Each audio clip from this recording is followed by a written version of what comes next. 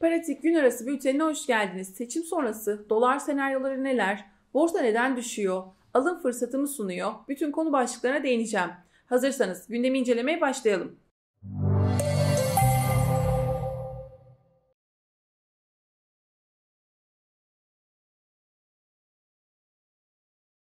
Serbest piyasada dolar ve euro rekorlara koşuyor. Dövize yoğun talebin arka planında seçim sonrası artış beklentisi yatıyor. Vatandaş dövizin artacağını düşünerek alım yapıyor. Dolar şu anda da 32 lira 12 kuruştan alıcı buluyor. 31 Mart seçimleri öncesinde piyasalara yönelik müdahaleleri devam eden Türkiye Cumhuriyet Merkez Bankası da net döviz pozisyonunda 22 milyar dolarlık bir satış yaptı. Ekonomistler bu durumun yeni bir döviz krizi için tehlike oluşturduğuna dikkat çekiyor. Tunç Şatıroğlu'nun grafiğinde serbest kur rejiminde hareket eden dolar kuru grafiği bıraktığını söyleyerek serbest kur rejimini eleştirdiği tweette gündemde yer alıyor.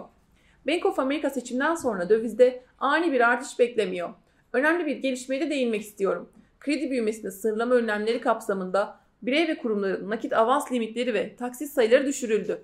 Nakit avansla taksit sayısı 3'e düştü. %25 sınırı geldi. İhtiyaç kredilerinde faiz oranı yükseldi. Merkez Bankası son günlerde likiditeyi çekmek ve döviz talebini kısmak için bir dizi hamle yaptı. Bu da kredilerde ve ekonomide sert bir frene yol açabilir. İç piyasada durgunluğa yani Mehmet Şimşek'in dediği gibi iflaslar ve işsizlik dalgasını gündeme getirebilir. Ekonomistler bu hamlelerin mevduat faizlerini yükselterek döviz talebini bir miktar aşağı çekebileceğini ancak seçim sonrasına kadar faiz artışı olmasını da beklenmediğini söylüyor. Türkiye Cumhuriyet Merkez Bankası döviz kurunu kontrol edebilecek mi? Faiz artışı kapıda mı? Sorularında cevaplarına yakından bakalım. Deutsche Bank Mart'ta 500 bas puanlık faiz arttırım yüksek ihtimal demişti. Ardından Bank of America'da Mart'ta Merkez Bankası'ndan faiz artımı beklediğini de açıkladı. Kredi faizleri artıştayken seçim öncesi faiz artışı herkesi mutsuz eder ve muhalefete koz verir. Bu yüzden de artış beklemek çok da mantıklı gelmiyor. Ekonomistler Merkez Bankası'nın bu ay faizi %45 seviyesinde sabit bırakmasını bekliyor. Kapalı çarşı dahil olmak üzere piyasalardaki döviz ve altın talebinin son yılların en zirve noktasına ulaşması Türkiye'de yeniden bir ikili kur yaklaşımının meydana gelmesine neden olurken BDDK tarafından paylaşılan raporlara göre KKM'deki düşüş son 3 haftada ortalama %0.65 seviyesine kadar indi. Borsa neden düşüyor? Alım fırsatı mı sunuyor? Yakından bakalım. Hafta başında %2.40 artıya kadar çıkan borsada kar realizasyonu yaşandı. Bank of America satışta başroldeydi. Fitch'ten geçen gün Türkiye ekonomisine dair gelen finansal istikrar riski azaldı açıklaması da borsada banka hisselerine alım getirmişti. Ekonomik ortamın banka bilançolarında yakın vadede olumsuz etkileyeceği yönde beklentisiyle birlikte her olumlu gelişmede satış fırsatı olarak görülmeye başlandı ve satışlar başladı. Dün Borsa İstanbul'da satış ağırlıklı bir seyir izlendi. Düşüşe banka hisseleri de katıldı. Çünkü Merkez Bankası Türkiye ekonomisini yavaşlatmak için bir dizi düzenleme açıkladı. Bu yüzden de satış geldi. Bu durum bankacılık bilançolarını da olumsuz etkileyecektir. Akbank, Yapı Kredi ve İş Bankası da dün en çok para çıkışı görülen hisselerdi. Hisselerdeki para akışında yön değişiyor mu soruları da akıllara geliyor. Borsa İstanbul şu anda 8870 puan yakınlarında seyrediyor. Borsa düşerken halka arzlarda da tavan serisi sürüyor. Yani halka arz furyası kaldığı yerden devam ediyor da diyebiliriz. Güvenli altın limanına da bir yakından bakalım.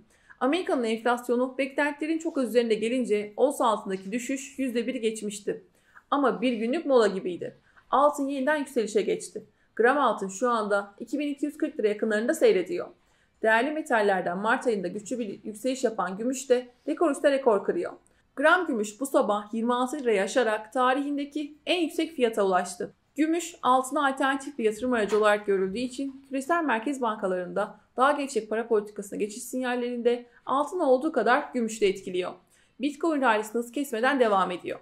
Spot Bitcoin ETF'ine yönelik güçlü giriş dalgası beslenerek yeni rekor seviyeleri kaydetmeyi sürdürüyor. Kripto para birimi yükselişini 73.658 dolara taşıdı ve tüm zamanların en yüksek seviyesi olarak kaydedildi. Bitcoin şu anda 73.400 dolar seviyesinden işlem görüyor. Brent petrolün varil fiyatı artışını sürdürüyor. 84.3 dolardan işlem görüyor. Bu gece yarısından itibaren geçerli olmak üzere motorin ve benzine de dev zam gelecek. Ekonomist Tunç Çatıroğlu gelen zamlarla ilgili akaryakıt zamları ÖTV'den karşılanmalı ve pompaya yansıtılmamalı. Aradaki fark kamuda tasarrufla kapatılmalı, itibaran tasarruf edilmeli, zamlar pompaya yansıdığında enflasyonda yansıyor ifadelere dikkat çekti. Küresel piyasalarda Amerika Merkez Bankası'nın faiz indirimlerine ne zaman başlayacağına ilişkin belirsizliklerin devam etmesiyle karışık bir seyir izleniyor. Fed'in 19-20 Mart'ta gerçekleştireceği para politikası toplantısında faizi sabit bırakacağına kesin gözle bakılırken bankanın faiz indirimine başlama ihtimali de Mayıs'ta %10, Haziran'da da %69 ile fiyatlanıyor. Beğeni ve önerileriniz bizim için çok değerli. Abone olmayı lütfen unutmayın. Bir sonraki bültende görüşürüz. Hoşçakalın.